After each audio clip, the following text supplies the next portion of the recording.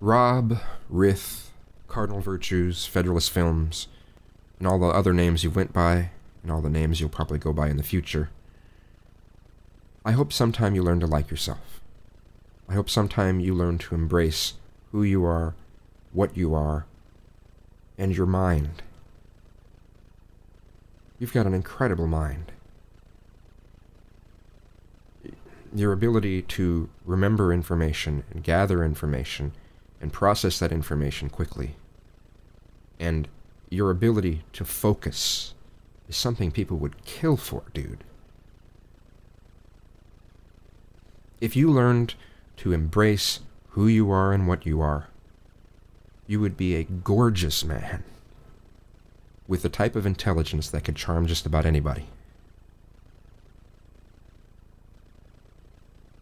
But you don't feel good about yourself.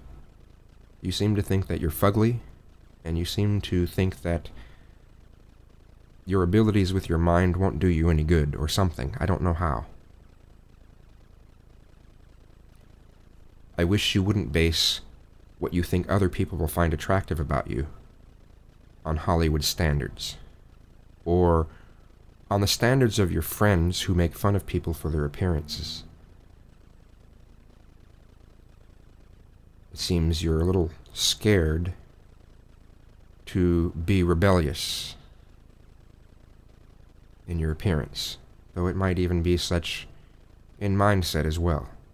There may be a fear of having a different view than what you're supposed to have.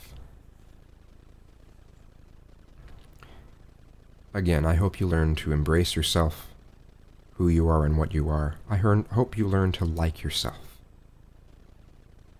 Because as I said, you would be a gorgeous man with a type of intelligence that could charm just about anyone. I hope you learn to like yourself, Rob.